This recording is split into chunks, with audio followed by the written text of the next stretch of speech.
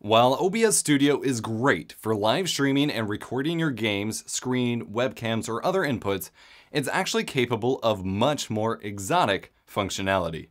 I use OBS daily as a tool for all of my recording needs, and I'm able to do this due to the off-label recording capabilities of the software. This episode is for you true video nerds and advanced users. Let's take a look.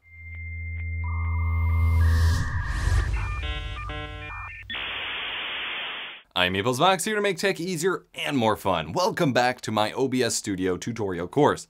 I've got plenty of videos on this software in the playlist in the description. If you have questions, check those. They probably answer them, and I have an introduction video explaining how this whole course thingy works. Let's get started. First, let's look at FFmpeg. Hidden in plain sight within the advanced mode of the output settings for recording is a settings toggle that very few people even know exist, but opens a wide world of additional recording possibilities. Under the recording tab is a dropdown that says type standard. Ever noticed it before? Maybe not. For like 99% of uses of OBS, leaving this on standard is necessary. But if you change it to custom output FFmpeg, you can record to just about any file format that the FFmpeg encoding program is capable of. Admittedly, I don't have a ton of experience with FFmpeg's normal tools and command line capabilities, but there are plenty of resources available online. I'll have some linked in the video description. People in the OBS forums have used custom output for a plethora of different recording modes, but I want to showcase one way that I utilize this in my workflow, and then you can think creatively from there. That is to record using Apple's ProRes codec. This is a very high bitrate and high fidelity recording format that is used in a wide variety of professional video recorders, including my Atomos Ninja Inferno that I'm using now. If you can sustain the high CPU loads and high write speeds, you can use this to record ridiculously high quality video files. Even with my ridiculous setup, I can't record 4K desktop captures nor most PC games with ProRes. The demand is just too high. But I was able to record some webcams and console games via a capture card with it. The file sizes are huge, of course, reaching more than 500 megabits per second, but the quality is pretty great.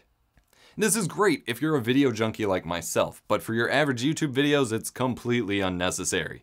But the fact that you can do this in OBS is just awesome. To try ProRes for yourself, choose the Custom Output FFmpeg type in your advanced recording settings, as I said before. For container format, choose MOV. For video encoder, choose ProRes. Now I also recommend changing the audio bitrate to 320. This will only record a single audio track at a time though despite the fact that ProRes itself seems to be able to contain multiple audio tracks. Video bitrate doesn't seem to actually affect anything here, but I had mine set to 500 megabits per second, or 5 with 5 zeros after it. Keyframe intervals should be equivalent to 2 seconds of video based on your frame rate. So 30 FPS, set it to 60. For 60 FPS, set it to 120. Other than that, you should be good to go if your computer can handle it.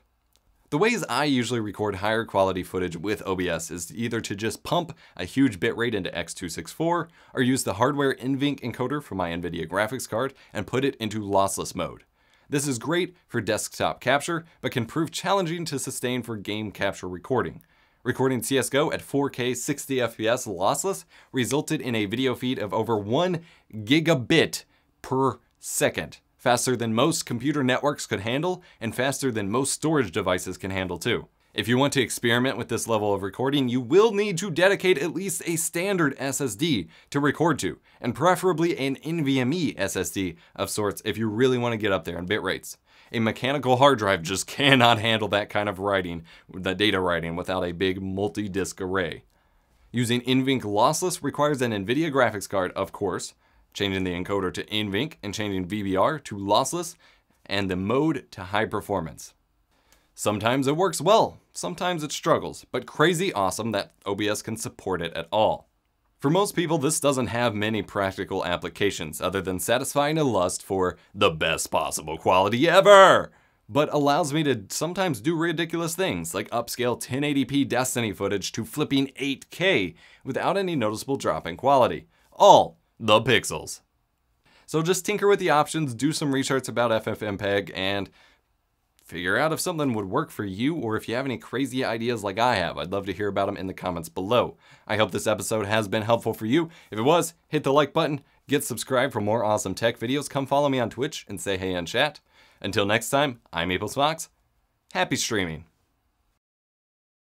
Thanks for watching this episode of my OBS Studio tutorial course. More videos like this and a full master class are linked in the playlist in the video description.